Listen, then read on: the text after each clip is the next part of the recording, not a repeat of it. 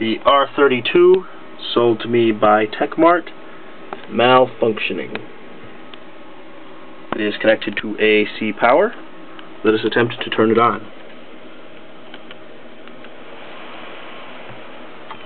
And see, the power shut off immediately after I turned it on.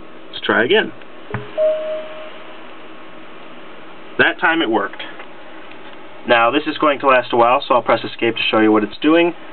Note right here, for evaluation only, not for resale. Right now it's counting the RAM because it forgot what it had.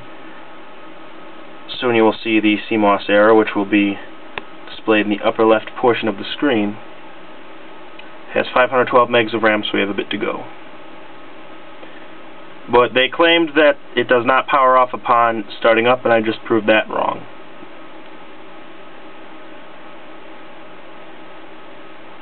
Alright, here we go.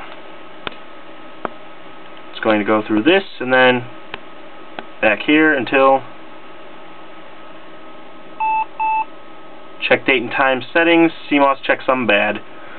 Every time this happens, the computer says it's 1988. As we all well know, it's 2007. So just for the heck of it, we'll change the year. Honestly, I don't think this is acceptable, and a machine that's supposed to be in working order and given as a gift ought not do that every time it's restarted. It it'll probably, once again, give me an error, except this time it will allow me to boot into Windows. It's once again doing the extended RAM test, which takes forever, I might add.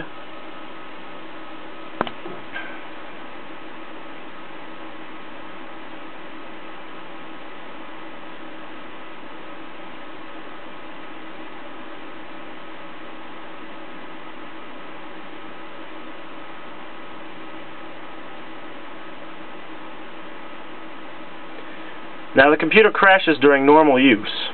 However, I don't think I have enough time to record it actually doing so. You'd have to sit through me fiddling with the computer for a while.